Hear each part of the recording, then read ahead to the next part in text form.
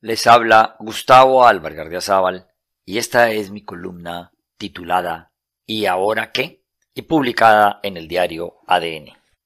Aunque estoy plenamente convencido que el problema de Venezuela no se arregla sino cuando se sienten en alguna parte los gobiernos de Estados Unidos, China y Rusia y muevan a Maduro y sus tres mil generales como fichas del ajedrez universal de la geopolítica económica, estuve atento al inédito espectáculo que se montaron en la frontera para preludiar la llegada de noventa toneladas de comidas y medicamentos que caben perfectamente en uno de los trenes cañeros que circulan estorbando en las carreteras vallecaucanas. El hecho de que Venezuela sea un país con dos presidentes, uno con el poder de las armas y la grosería verbal, y el otro con la serenidad de la palabra y las acciones atrevidas y provocadoras, pero sin poder levantar la masa hambrienta y cada vez más desesperada,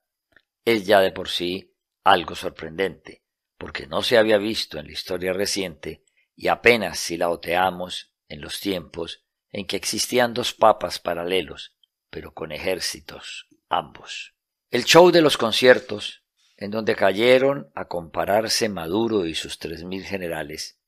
fue motivo para despertar ánimo por fuera de Venezuela a través de las cadenas de televisión y las redes. Pero sirvió tan poquito para los presuntos fines buscados de hacer renunciar a Maduro, como resultó un fiasco sangriento el intento de hacer pasar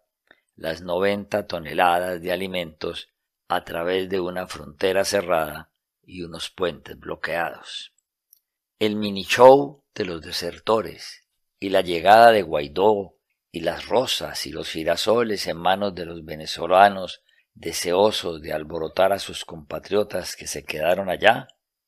Resultó emotivo, pero tan improductivo como todo lo planificado, como la gran aventura. ¿Qué pasará luego? No se sabe hasta cuándo resista el hambre y la carestía en Venezuela, y si protegidos, vigilados e inducidos por los cubanos, repetirán lo vivido por cincuenta años en Cuba.